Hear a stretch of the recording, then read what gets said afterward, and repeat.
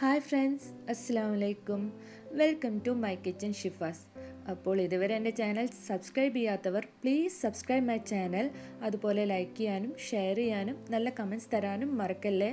അപ്പോൾ ഇന്നിവിടെ ഞാൻ തയ്യാറാക്കാൻ പോകുന്നത് നമ്മുടെ നാടൻ നെയ്യപ്പമാണ്. ഇത് വളരെ ടേസ്റ്റിയാണ് ഇതിന്റെ പുറംഭാഗമെല്ലാം ശരിക്കും ക്രഞ്ചിയും അതുപോലെ ഉള്ള നല്ല സോഫ്റ്റ് ആയിട്ടുള്ള നല്ല ടേസ്റ്റി ആയിട്ടുള്ള ഒരു നെയ്യപ്പമാണ്. ഞാൻ ഏറ്റവും കൂടുതൽ ഫോളോ ചെയ്യാറുള്ളത് ഈ റെസിപ്പിയാണ് അപ്പോൾ നിങ്ങളെല്ലാവരും ഇത് ട്രൈ ചെയ്ത് നോക്കണം. ഇതിൽ ഞാൻ ഉപയോഗിക്കുന്ന അളവും അതുപോലെ ഇതിൽ കൂടുതൽ ഉപയോഗിക്കുമ്പോൾ നിങ്ങൾ എങ്ങനെയാണ് ചേർക്കേണ്ടതെന്നും ഞാൻ പറഞ്ഞു തരാം.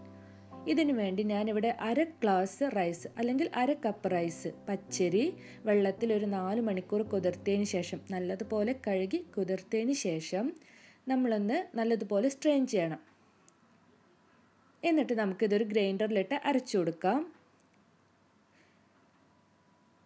ഈ ഒരളവ് ഉപയോഗിച്ചിട്ട് അഞ്ച് നെയ്യപ്പമാണ് ഞാനിവിടെ തയ്യാറാക്കിയിട്ടുള്ളത്. ഇത് ശർക്കര പാനിയാണ് ഈ ഒരു തിക്നെസ്സിൽ നമ്മൾ ശർക്കര പാനി തയ്യാറാക്കാം. ഇതിപ്പോൾ ഞാനൊരു മൂന്ന് ശർക്കരയുടെ അച്ചെടുത്തിട്ട് തയ്യാറാക്കിയ ശർക്കര പാനിയാണ് ഇതിന് അളവ് എന്ന് പറയുന്നത് നമ്മളുടെ ഈ നെയ്യപ്പം അതായത് ഈ അരി അരച്ചെടുക്കാൻ ആവശ്യമായിട്ടുള്ള സിറപ്പ് ഇതിലേക്ക് ഒഴിച്ചു കൊടുക്കുക. മൂന്ന് മുതൽ നാല് ടേബിൾ സ്പൂൺ വരെ നമ്മൾ ഒഴിച്ചു കൊടുക്കുക. നമ്മളിപ്പോൾ ആദ്യമായിട്ട് തയ്യാറാക്കുകയാണെന്നുണ്ടെങ്കിൽ നമ്മൾ ഒരു അല്പം ഒഴിച്ചു കൊടുക്കുക. എന്നിട്ട് അരി അരയ്ക്കാൻ പറ്റുന്നുണ്ടോ എന്ന് നോക്കുക.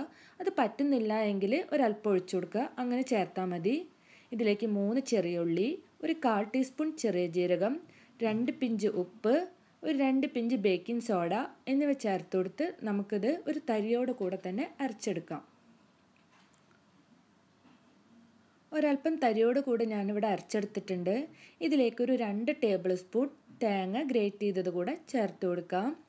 ഇപ്പം നിങ്ങൾ ഒരു കപ്പ് റൈസൊക്കെ ആണെങ്കിൽ ഒരു നാല് ടേബിൾ സ്പൂൺ വരെ ചേർത്ത് കൊടുക്കാം. അതിവിടെ ഒന്ന് ജസ്റ്റ് ഒന്ന് അരച്ചെടുത്താൽ മതി. ഇത് നമുക്കൊരു ബൗളിലേക്ക് മാറ്റാം. ഇപ്പം നമ്മുടെ മിക്സ് ലൂസ് ആണെങ്കിൽ ഇതിലേക്കൊരു അല്പം മൈദപ്പൊടി ചേർത്താൽ മതി. ഞാൻ പറഞ്ഞ പോലെ മൈദ ആഡ് ചെയ്യാൻ നിങ്ങൾക്ക് ഇഷ്ടമില്ല എങ്കിൽ അല്പാൽപമായിട്ട് ശർക്കരപ്പാനി അരച്ചു കൊടുത്തിട്ട് പാകമാക്കി എടുത്താൽ മതി. ഇപ്പം എന്റെ ബാറ്റർ അല്പം ലൂസായത് കൊണ്ട് ഞാൻ ഒരു ടേബിൾ സ്പൂൺ മൈദ അവിടെ ആഡ് ചെയ്യുന്നുണ്ട്. ഇനി ഇത് നമുക്ക് നല്ലതുപോലെ ഒന്ന് മിക്സ് ചെയ്ത് കൊടുക്കാം. ഇതാണ് ഇതിന്റെ ഒരു തിക്നെസ് എന്ന് പറയുന്നത്. ഇനി നമുക്ക് നെയ്യപ്പം ചുട്ടെടുക്കാം. ഇതിനു വേണ്ടി ഞാനൊരു അടിക്കട്ടിയുള്ള ഇരുമ്പ് ചട്ടി വെച്ചിട്ടുണ്ട്. എണ്ണ നല്ലതുപോലെ ചൂടായി വരുമ്പോൾ ഒരു തവി മാവ് ഒഴിച്ചു കൊടുക്കാം. മാവ് ഒഴിച്ചതിന് ശേഷം നമ്മളുടെ ഫ്ലെയിം ലോ ആക്കാൻ നിങ്ങൾ പ്രത്യേകം ശ്രദ്ധിക്കണം. കാരണം എന്താണെന്ന് വെച്ചാൽ ഇല്ലയെന്നുണ്ടെങ്കിൽ ഇതിന്റെ പുറം ഭാഗം പെട്ടെന്ന് തന്നെ കരിഞ്ഞു പോവും ഉള്ളൊട്ടും വേവില്ല. അതുകൊണ്ട് എണ്ണ ചൂടായി മാവ് ഒഴിച്ചാൽ ഉടനെ ലോ ഫ്ലെയിമിൽ വെക്കുക. ഇനി ഇത് നല്ലതുപോലെ പൊങ്ങി വരും. കണ്ടില്ലേ? നല്ല പോലെ പൊന്തി വന്നിട്ടുണ്ട്. ഇനി നമുക്കിത് മറിച്ചിട്ട് കൊടുത്ത് വേവിക്കാം. ഏകദേശം ഒരു നാല് മുതൽ അഞ്ച് മിനിറ്റ് വരെ ഒരു നെയ്യപ്പം വേവേണ്ട സമയം. എന്നാലാണ് ശരിക്കും ഉള്ളു നല്ലതുപോലെ വേവത്തുള്ളൂ. അതുകൊണ്ട് ഫ്ലെയിം ഹൈ ഫ്ലെയിമിലാക്കി വെച്ചതിന് ശേഷം നിങ്ങളിത് ചെയ്തുകൊണ്ടിരുന്നാൽ നിങ്ങളുടെ നെയ്യപ്പം നാശമായി പോവും. ഇതുപോലെ നമുക്ക് ബാക്കിയുള്ള നെയ്യപ്പം കൂടെ ചുട്ടെടുക്കാം. ഇത് വളരെ ടേസ്റ്റി ആയിട്ടുള്ള നെയ്യപ്പാണ്. അതുപോലെ വളരെ ഈസിയാണ് തയ്യാറാക്കാൻ.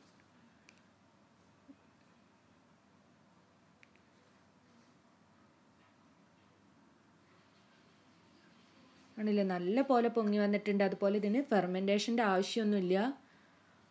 പെട്ടെന്ന് തന്നെ നമുക്കിത് തയ്യാറാക്കാൻ പറ്റും. സിമ്പിൾ ഇൻഗ്രീഡിയൻസ് ഉപയോഗിച്ചാണ് നമ്മളിതിവിടെ തയ്യാറാക്കുന്നത്. ഈ ഒരു റെസിപ്പി ഫോളോ ചെയ്യുകയാണെങ്കിൽ നിങ്ങൾക്ക് വളരെ ടേസ്റ്റിയും അതുപോലെ നിങ്ങൾക്ക് തീർച്ചയായിട്ടും ഇഷ്ടപ്പെടുന്ന നല്ലൊരു നെയ്യപ്പം തന്നെ കിട്ടുന്നതാണ്.